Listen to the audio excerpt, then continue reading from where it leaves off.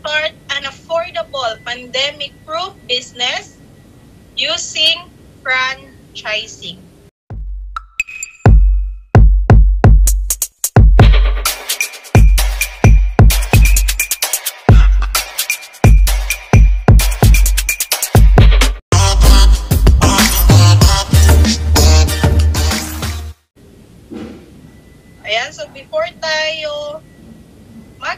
Mag-start, may share po muna ako ng mga criteria or basihan na titignan natin or i-consider natin pagdating po kung magbi-business po tayo, okay?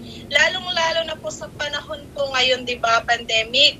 So, dapat po yung pera po na ilalabas natin, hindi po siya masasayang, okay? So, sa panahon po ngayon, dapat ang negosyo po natin is a home-based online business, di ba? Yung kahit nasa bahay lang po tayo, kikita tayo. Low capital, world-class business. Yung kayang makipagsabayan worldwide talaga. Well-established market, yung stable na po yung company. Easy to set up, portable. Ito, yung daladala natin, yung business natin, kahit saan man tayo magpunta combination of businesses, yung hindi lang po isa, kundi marami tayong pwedeng pagkakitaan. Guaranteed fast ROI or return of investment. Tao ang lalapit sa atin at higit sa lahat, yung negosyo na hindi napapanis. Okay? So in short, ang business po na kailangan natin sa panahon po ngayon is a one-stop shop business. At ang good news po mga ma'am, ang lahat po ng mga criteria or ang one-stop shop business na yan is andito po one-stop shop system. Okay? So isa po yung prepaid system or application po na maaari po nating install or install or download sa ating mga Android phones, desktop laptops, as long as meron tayong malakas na internet or data connection. Okay, so fundable po yan mga ma'am. Ibig sabihin kailangan po natin punduhan para magamit po natin ang nasa loob ng system. Okay? At pag once na may system na po tayo, automatic, magkakaroon tayo ng negosyong ticketing, travel and tours, remittance, bills payment, loading, insurance, online shop, at higit sa lahat, ang Rice Smart or ang ating bigasan business. Okay? So dahil nga po, di ba, as you can see po sa criteria po natin, di ba, combination of businesses. As you can see, combination of businesses po meron tayo. Hindi napapanis at tayo ang lalapitan ng tao kasi basic needs. Okay? So dahil nga po, di ba, mag-business po tayo, so pag-uusapan natin ngayon kung paano tayo dito kikita. At isa-isahin natin yan at uunahin natin muna si ticketing natin. So ticketing natin, markup base or magpapatong po tayo dito. So 406 airlines ang katayap local and international na po yan. For every domestic flights from 150 pesos to 500 pesos per way per passenger po ang pwede nating i-mark up. For example po, may nagpabook sa atin. One way, 10 katao at sinagad natin yung markup natin sa 500. Meron tayong outright income na 5,000 pesos. What if mga map, magra-round trip yan? So 5,000 times 2 way, 10,000 pesos outright income 5 to 10 minutes of booking ng po yan. For international flights naman, from 700 pesos to 1,000 pesos per way, per passenger din po ang pwede nating ipato. Same scenario, may nagpabook one way, 10 katao pa din, sinagad natin sa 1,000 pesos yung markup natin. So, meron tayong outright income na 10,000 pesos. What if mga ma'am nag-round trip kasi tourist visa lang yung dala, automatic haharangin yan pag di naka-round trip ticket yan. So 10,000 times 2 way, outright income, 20,000 pesos less than 2 hours of booking. Okay, so ganyan siya kaganda ating ticketing kahit sa bahay lang tayo, pwede tayong kumita ng 20,000 po. Okay, so aside sa ating airlines kasi 'di ba may mga uh, clients, may mga tao talaga na ayaw sumakay sa aeroplano kasi takot sa heights. Okay, wag po tayong mag-alala. Meron po tayo ditong barco bookings or shipping lines. Tie up natin si FastCat to go travel at si TransAsia po. Okay, so ito po yung mga proof of domestic booking transactions. Makikita po natin yan sa ating system. Ang color green, ibig sabihin successful na po yan. Color pink is canceled or naubos ang promo po na napili ng ating mga clients. So, wag po tayong magalala kasi uh, ma-refund po yan automatic, mapupunta yan sa ating system at pwede din pong mag-rebook kapag canceled na siya. Okay? So, ito yung mga sample tickets na uh, ibibigay natin. Lahat po ng details ng mga passengers natin, andyan na po lahat. So, isi-send yan, makikita sa ating Gmail. So, pwede natin i-print, pwede din po nating screenshot. Sa amin po, sa amin is sa akin is screenshot lang po kasi di ba sa panahon ng paperless na hindi na po siya kailangan na naka-print talaga. Ayan, so ito din po ang sample. Ayan, proof of international booking transactions. Yan din po yung makikita natin sa ating system. Color green, successful. Color pink is concealed. Ang color yellow is on process. Okay, pag confirm na siya, automatic mag mag, mag uh, color green din yan siya after. Okay, so ito din po yung tickets. Same pa rin lahat ng details, andyan na po lahat-lahat. Passenger details, so isa-send yan. Pwede nating screenshot, pwede nating i-print. Okay, so next, meron din po tayo ng travel and tours. So we can earn commission plus pwede din po tayo mag-markup dito. So may 3 days and 2 nights packages. Depende sa package nga na i-avail ng ating mga clients local and international na din po ang ating travel and tours. So kapag sa atin yan sila nagpa-book ng ticket, lalo-lalo na di ba kung magbabakasyon lang sila, yan, so pwede din natin silang alokin ng mga hotel bookings. Tayo na yung mag-book niyan. Okay? So, depende po sa atin kung magma-mark up na po tayo dyan. Kasi may commission na tayo from company. Next, remittance. So, markup base, or magpapatong lang din po tayo dito mga ma'am. At once po na may system na tayo automatic, Cebuana, Lubilier, and Western Union na po tayo mga ma'am. At syempre, meron tayong e-cash padala. So pwede tayong mag-send and receive sa ating e-cash po. Yan po yung sariling padala ng ating company. So from 1 peso to 50,000 pesos po, 25 pesos lang ang charge. Ibig sabihin po yung e-cash to e-cash e-cash to e-cash transfer or franchisee to franchisee po yan. Okay? So, natayap din natin dito sa ating remittance yung si, syempre may higanting bangko natin dito sa Pinas. Ayan, kikita natin sa screen. At ang ating bagong GCash top-up and PayMaya top-up, meron na rin po tayo dito. And international remittances po natin, MoneyGram, iRemit, at TransFast. And many, many more pa po. Ayan, next, bills payment. So sa ating bills payment, tie-up natin dito Bayad Center. Okay, so si Bayad Center merong uh, ah, 2,000 partners. Automatic tie-up na din po natin yan lahat. Meralco, ayan, gamit lang po yung system po natin. Pwede na tayong magbayad ng mga bills natin, sarili nating bills or mga bills ng ating mga kapitbahay. Pwede natin yung i-ano, tayo na po yung magpa-process niyan. Okay? So markup base tayo dito, water bill, electric, electric bill, at internet. Okay? So, meron din po tayo ditong credit to banks. Ayan, so andyan na po lahat sa screen yung mga bangko na yan at marami pa pong iba. Yan, markup based din po ang ating bills payment. Next natin is a loading. Yeah, so may 3% commission plus markup plus may 2% na outright income na po tayo dyan. So tie up natin all networks. Yan, dyan si Globe, Smart Sun, TM at saka si TNT.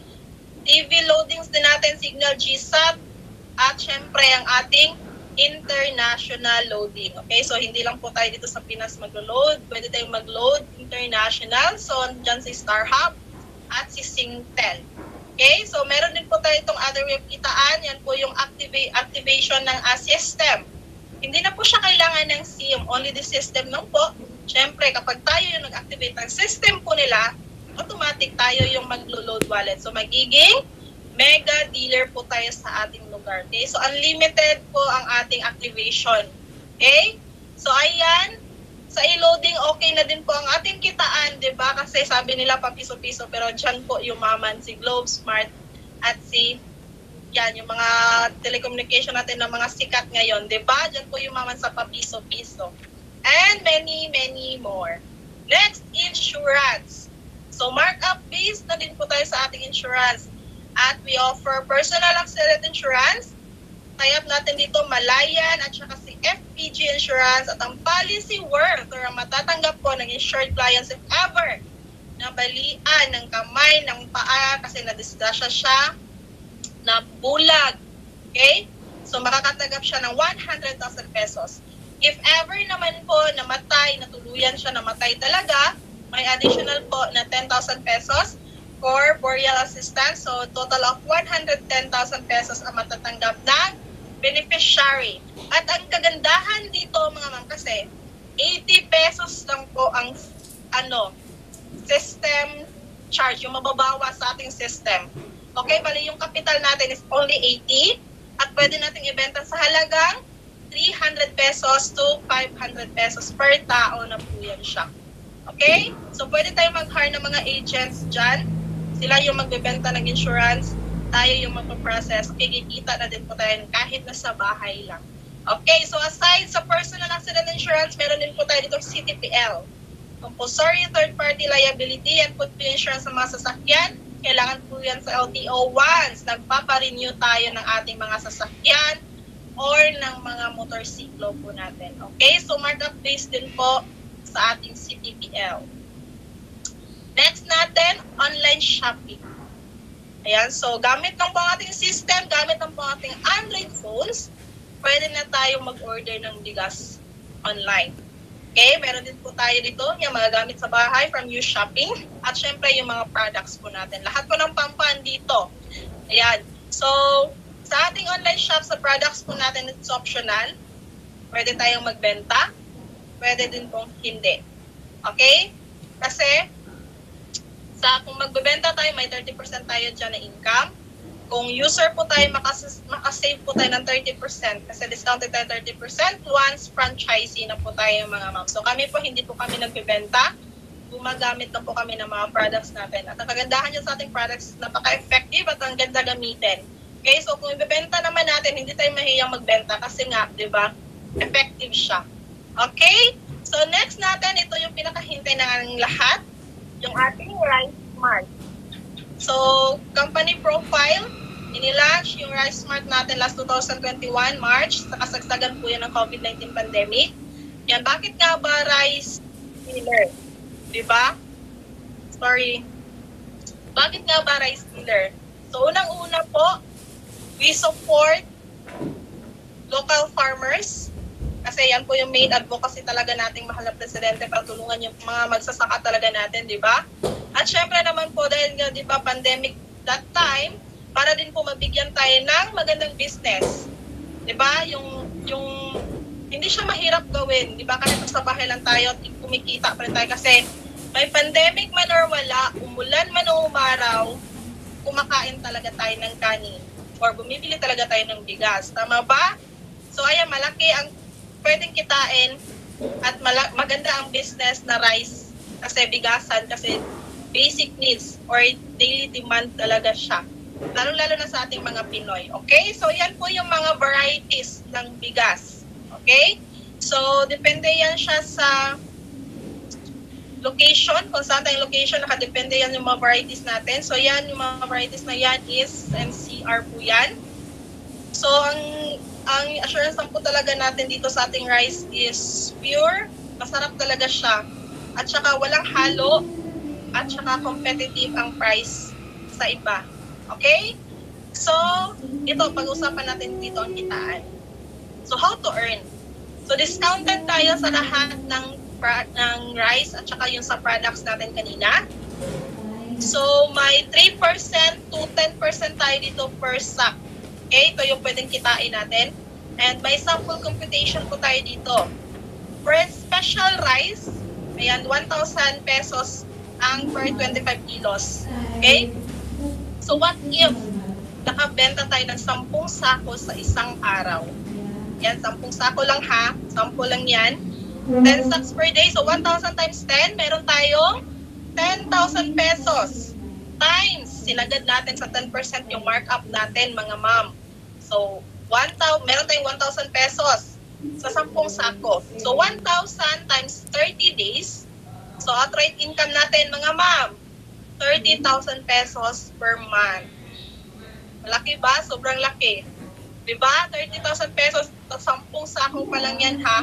What if more than 10 sacks yung naibenta natin sa isang araw? Diba? More than 30k din po yung kita natin sa isang buwan. Diba? Nasa bahay lang tayo ha, mahalagan pa natin yung mga anak natin. Diba? So, ayan siya. Ito yung kitaan natin sa ating bigasan. Okay? So, ito yung mga branches.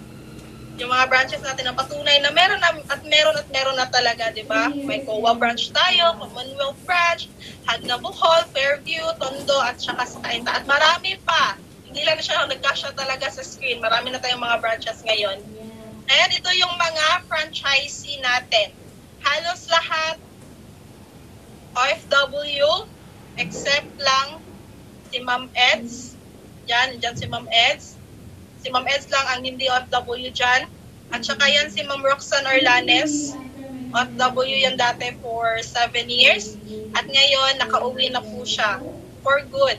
'Di ba? Dahil hindi na siya takot umuwi kasi nga, 'di ba, may business na po siya na sinimulan na kahit nasa abroad po siya. Yan na si Ma'am Roxanne Orlanes, dating OFW. Yan lang lahat, halos yan nasa ibabaw is nakauwi na po yan. For good na din po. At saka si Ma'am Ominor Sulaiman, pauwi na din po yan siya. Uh, August po, next month. Uwi na yan siya. So, ayan yung mga franchisee. Marami pa tayong mga franchisee, mga ma'am. Yan lang po yung nagkasya talaga sa screen. Okay? So, newly open po natin Pasay, Cebu, Davao, at saka sa Butuan. Soon to open naman po Cavite, Bohol, Bulacan, Camarines Sur, at saka sa Surigao del Sur. Okay, ito na po yung hinihintay natin. So, sa Global Rice Mart Package, once franchisee na tayo, okay, automatic GoCab operator na din po tayo dito. So, pwede tayo mag-book ng ating mga sariling delivery transactions gamit lang po ang GoCab app. Ito po yung sariling courier ng ating company, GoCab. And syempre may income din po tayo dito. So may 10% commission tayo dito sa lahat ng drivers booking natin. So pwede tayong mag-hire ng mga riders natin. 100 riders po yan. So, di ba, aside nakikita tayo sa ating GoCap, makakatulong pa tayo, di ba, sa mga tatay, sa mga kuya, na may mga motor pero walang mga work. Okay? So, pwede natin silang i-hire as a rider. And residual income from products and services. Okay? So, uh, itatackle natin yan later kung ano ba yung residual income na yan. Okay? So, ito na, Global Rice Mart Package. May free tayo dito. Free 3 sacks of rice. May scooper, may tarpaulin, plus 10,000 worth of wellness products. And yung lifetime businesses na nabanggit ko kanina, Smart, Loans Payment, Remittance, Loading, Insurance, Airline Ticketing, Travel and Tours, and Online Shopping, lahat-lahat na po yan is nasa system na po natin. And other inclusions, Insured na tayo for one year, Malayan Insurance. 24-7 technical support or customer support. So, may sariling IT po tayo dito. 30% discount on all tangible products sa halagang 18,998 lang po. Okay, so napakasulit na package. Kasi sa halagang 18,998, may lifetime businesses na po tayo. At um, kasama na din po tayo sa mga free trainings natin yan at saka may free mentoring na din po tayo sa ating 1898 na package. Okay? So, ito na. How to become a franchise consultant. Okay, so once franchisee na po tayo, mga ma'am, automatic po, franchise consultant na din po tayo yan. So, pwede po natin gawin as uh, pwede tayong maging franchise consultant, pwede din pong hindi, it's optional, nasa atin po. Pero kung gagawin po natin, isa legit po siya at hindi po kayo mababayaan dito kasi tulungan po tayo. Okay? So, if ever po mga ma'am, may magpa-franchise po, uh, kasi nga, di ba, nagustuhan din po nila yung business, uh, if ever magpa-franchise yung mga friends natin, ayan, may mga friends po tayo dyan na gusto din mag-franchise, same sa business natin, or even kahit hindi natin friends, mga ma'am, wala po problema kasi kapag nag-franchise po sila ng 18,998 na package, yan, bibigyan po tayo ng company 1,000 pesos na finder's fee. Okay, so hindi po yung magagaling sa amin ha, sa company po yan. Diretso yan bibigay sa inyo as commission. And lahat, kahit magkan, kahit ilan, kahit ilan yung ah, kahit ilan yung mag-franchise under sa inyo, ka- kahit kilala nyo man o hindi, pag nag-franchise ng 8998, bibigyan kayo ng company 1,000 pesos po as commission ninyo po or finder's fee na tinatawag natin dito. Okay? At dyan na din po papasok kapag nag-share tayo ng business, dyan na po papasok si residual income natin. Okay? So ano ba yung residual income? So ito yung tinatawag natin dito na passive income or early pension. So may dalawang income tayo sa mundo mga ma'am. Passive and active income. So active income means no work, no pay in employment world. Tama ba? In traditional businesses, kung may tindahan po tayo, sarado yung tindahan natin kasi nga may importante tayong nilalakad. So wala tayong benta kapag close. Okay? Yun po yung active income. Pero dito po sa atin, passive income, ito yung tinatawag na no work, but with pay po tayo dyan. Okay, so paano ba yan? Hindi po yan magic ha, mga ma'am. So gagawin lang po natin yan 3 to 5 years from now. At hindi lang po ikaw ang gagawa niyan, kundi tulong-tulong po tayo dito. So paano ba yan? Ikaw po yan mga ma'am. Okay? So dahil nga po, di ba, nagustuhan nyo yung business at gusto nyo din magiging franchise consultant at marami na din po kayo na-share ng business at ah, nakakatanggap, nabibigyan na din po kayo ng company ng 1,000 pesos, di ba? So, marami na tayong business partners under sa atin. Okay? So, Luzon, Visayas, Mindanao na yan. Meron pa international. Under yan sa atin, di ba? Kasi nga, nag-share tayo ng business. Sila, may kanya-kanya na yan silang system. Okay? May kanya-kanya na at kasali na din sila sa mga free trainings natin. So, marunong na yan silang mag-gamit ng mga services natin like yung ticketing po natin. Okay, so ito po yan. For every domestic booking transactions ng mga ka-business partners po natin, sila kumita ng 500 pesos na markup nila. Tayo na walang ginawa, bibigyan ng company 10 pesos residual income. Okay? So sa international bookings, sila kumita ng 1,000 pesos. Tayo na walang ginawa, mga ma'am, bibigyan ng company 25 pesos residual income.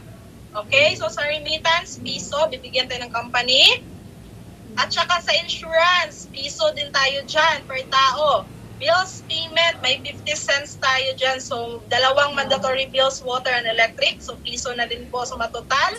At saka sa rice, for every purchase nila ng bigas, bibigyan din tayo ng piso per sako yan. Okay, so for example po, may nakapag-book lahat-lahat ng mga business partners natin under sa atin 100 domestic tickets times 10 pesos residual income. Meron tayo 1,000 pesos na wala tayong ginawa. Okay?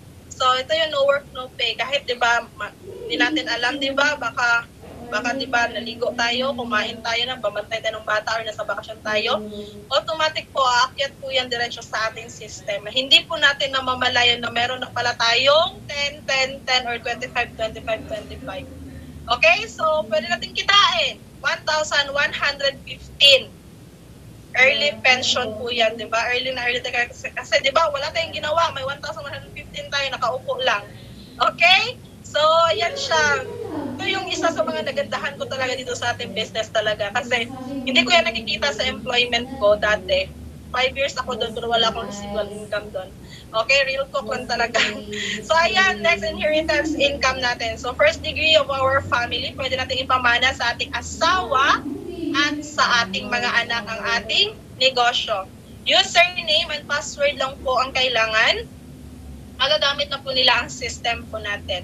Okay? So, ang kagandahan dito mga ma'am kasi kung magkano na po yung income natin, kung magkano na po yung kinita natin dito, yun na rin po ang pwedeng kitain ng pamamanahan po natin. Okay? At saka, kung, kung ilan na po yung mga business partners natin, kung marami na sila, syempre, yun na rin po yung mga business partner ng pamamanahan natin. Hindi na sila magpa-back to zero, di ba? Kasi sinimulan na po natin. Ang gagawin na nila is ipagpatuloy nila ang nasimulan po natin. Okay? So, yan, features of our system. One-time investment. Yes, isang beses na po tayo magpapalabas ng pera. Lifetime business na yung negosyo natin.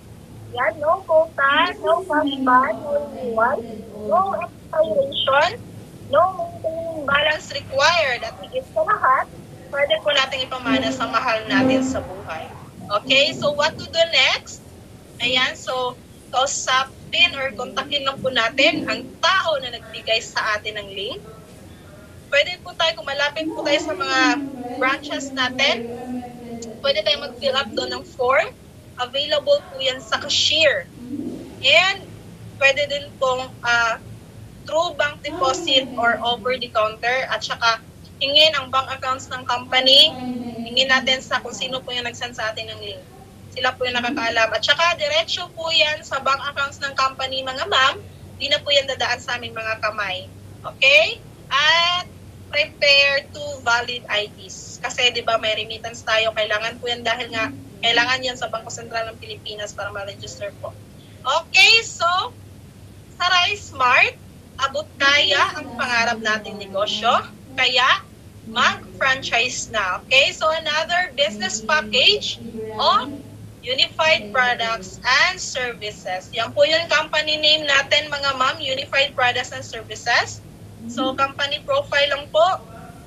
I-launch si Unified Products and Services November 11, 2011. Okay, so mag-11 years na po tayo this coming November 11, 2022. Stable na po talaga ang company. Yes, well established. At saka ang president po natin dito is Pinoy na Pinoy, napaka-humble, napaka-bait talaga ng president natin. At saka nami-meet up, na-meet up po namin siya personal. Walang iba, si Mr. Emmanuel Manny Pascual, si Pay by profession at dati pong nagtatrabaho sa Bangko Sentral ng Pilipinas. Okay, so in terms of legalities naman, kasi yan po talaga ang pinaka-importante po kapag papasok po tayo sa isang business, kung legal ba. Tayo po dito is legal, moral, ethical. Wala tayong nilulokong tao dito. Okay, dahil registered tayo sa SEC or Securities and Exchange Commission. Bangko Sentral ng Pilipinas, may business permits tayo dito, may team number tayo dito from BIR, at syempre, registered po tayo sa AFI or Association of Filipino Franchisers Incorporated since franchising business po si Unified Products and Services. Okay, so, ayan, nag-end na po. Tapos na po ako, pero may iwan mo na ako na code sa inyo. If you always do what you've always done, you'll always get what you've always done. Kung wala po tayong gagawing bago, wala din pong pagbabago. Tama? So, kaya decide now.